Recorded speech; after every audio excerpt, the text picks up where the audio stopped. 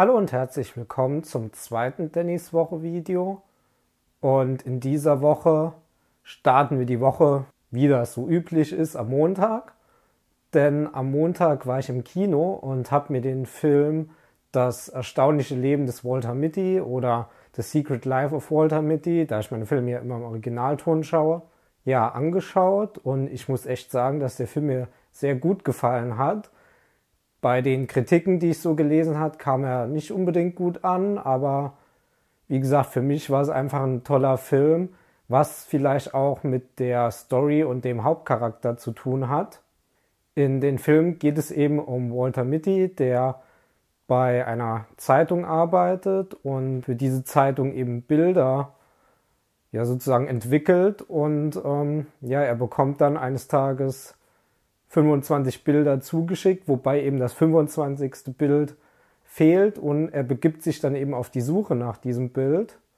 Ja, und das Schöne an dem Film ist einfach zu sehen, wie aus diesem ruhigen Typ, ähm, ja, der nie wirklich rauskommt, jemand wird, der auf einmal eine Weltreise macht, Dinge erlebt und ich fand die Story einfach total gut und ja, auch so die, die Message dahinter für unter Umständen angehende Journalisten oder Fotografen, dass es eben vor allem bei der Fotografie eben nicht unbedingt auf die beste Technik oder sowas ankommt, sondern wirklich vor allem auf das Motiv und dass man teilweise wirklich sehr lange warten oder suchen muss, bis man eben das optimale oder einfach das eine Motiv gefunden hat, was dann ein Bild perfekt macht. Ja, der Film an sich, wie bereits gesagt, kam bei den Kritikern nicht so gut an.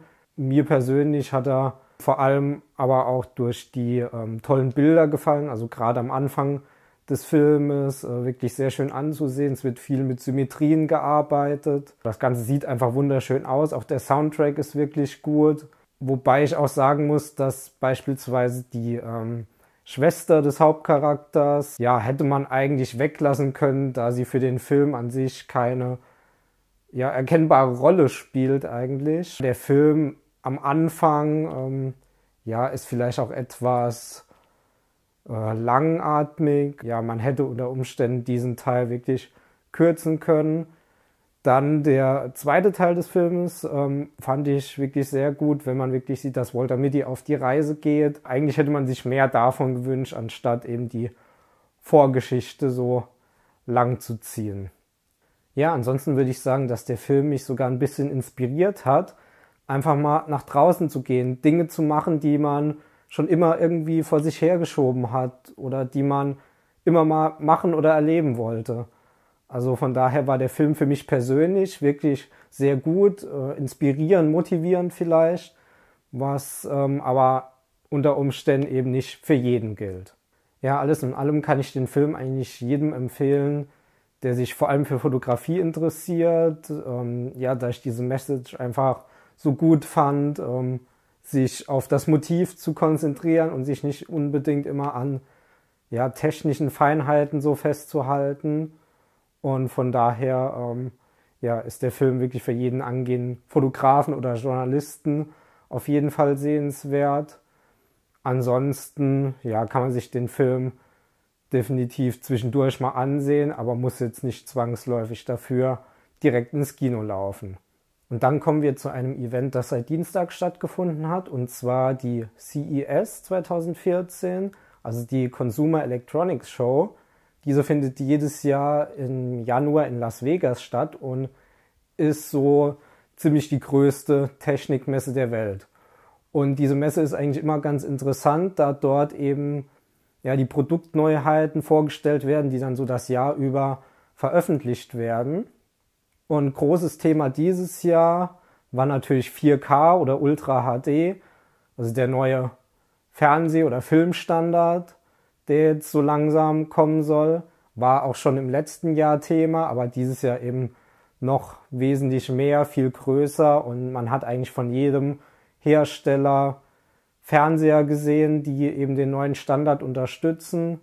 Sei es jetzt Fernseher mit gerader Bildfläche oder neuen gewölbten. Samsung hat sogar einen Fernseher vorgestellt, der sich auf Knopfdruck äh, vom geraden Bild zum gewölbten machen lässt, was ich auch sehr interessant finde. Auch im PC-Bereich ähm, hat man gesehen, dass 4K immer mehr Einzug hält. Das heißt, es wurden einige 4K bzw. Ultra HD Monitore auch vorgestellt, so dass man eben auch ja, im kleineren Bereich auf dem PC dann die hohe Auflösung nutzen kann.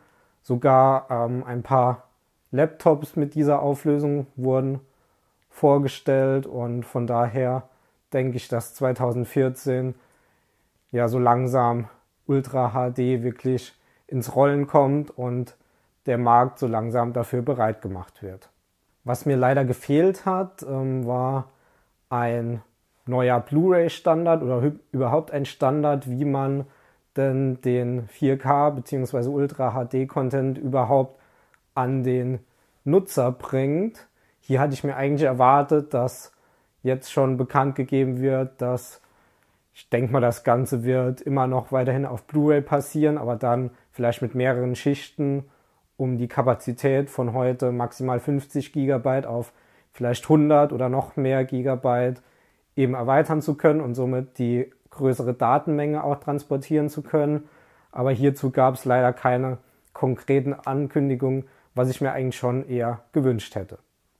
Ein weiteres sehr interessantes Thema hat mit Uhren zu tun. Und zwar ja, kommen im Moment immer mehr sogenannte Smartwatches auf den Markt, die eben das alte Konzept der Uhr etwas erweitern und die Uhr sozusagen mit dem Smartphone koppeln und man so über die Uhr dann ähm, ja, SMS lesen kann, Nachrichten lesen kann, unter Umständen Anrufe annehmen, vielleicht auch ja, den Facebook-Status sehen oder Informationen beispielsweise über das Auto erfährt. Und das finde ich wirklich ein sehr interessantes Konzept und ähm, bin mir sicher, wenn das Ganze ausgereift ist, dass ich mir dann auch so eine Art Smartwatch eben zulegen werde. Und das dritte Thema, auf das ich eingehen will, ist ein Thema, das mich schon seit langem interessiert, aber noch nie so wirklich vereinfacht wurde oder in den Bereich kam, dass ich mir selbst sowas zulegen oder bauen würde. Und zwar rede ich von 3D.